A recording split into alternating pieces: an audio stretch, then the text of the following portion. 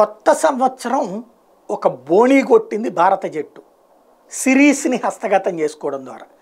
శ్రీలంకతో సిరీస్ ఎలా ఉంటుంది ఎలా ఉంటుంది అన్నటువంటి సందేహాలకి విజయంతో కప్పుతో సాధ్యం చేసుకోగలిగారు.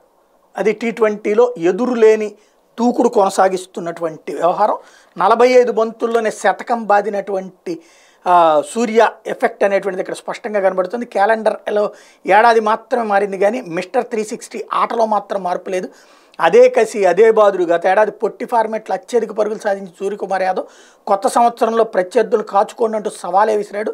లంక బౌర్లను చెండాడుతూ తన టీ ట్వంటీ కెరీర్లో మూడో శతకం నమోదు చేశాడు. తనదైన స్కూప్ షాట్లతో ఏడు ఫోర్లు తొమ్మిది సిక్సర్లతో విరుచుకుపడ్డాడు. తొలుత త్రిపాఠి మెరుపు ఆరంభానికి సూర్య విజృంభణ తోడవడంతో స్కోరు అవలేలగా రెండు వందల ఇరవై దాటేసింది. భారీ ఛేదంలో లంక బ్యాటర్లు దారుణంగా విఫలమవడంతో ఆ జట్టుకు పరాభవం తప్పలేదు. ఇందులో రికార్డులు టీ ట్వంటీలో ఒకే టీం మీద అత్యధిక విజయాలు. శ్రీలంక మీద ముప్పై ఇరవై తొమ్మిది విజయాలు అందుకున్నటువంటి జట్టుగా భారతదేశం పాకిస్తాన్ మీద ఇంగ్లాండ్ ఇన్నే విజయాలు సాధించింది.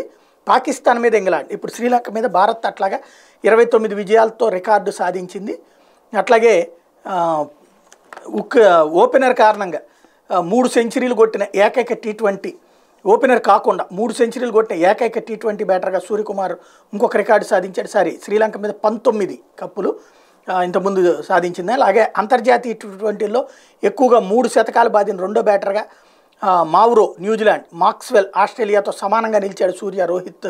టాప్లో ఉన్నాడు. భారత్ తరపున తక్కువ బంతుల్లో నలభై ఐదు బంతుల్లో టీ ట్వంటీ సెంచరీ పూర్తి చేసినట్టు రెండో బ్యాటర్గా కూడా సూర్య ఉన్నాడు. రోహిత్ ముందున్నాడు ఇందులో ముప్పై ఐదు చేసుకొచ్చాడు. అలాగే భారత్లో శ్రీలంక మీద టీ ట్వంటీ సిరీస్ గెలవడం టీమిండియాకి ఇది వరుసగా ఐదోసారి. భారత్లో లంక మీద టీమిండియాకి ఇది పరిమిత ఓవర్లో ఇరవై ఐదో ద్వైపాక్షిక సిరీస్ విజయం.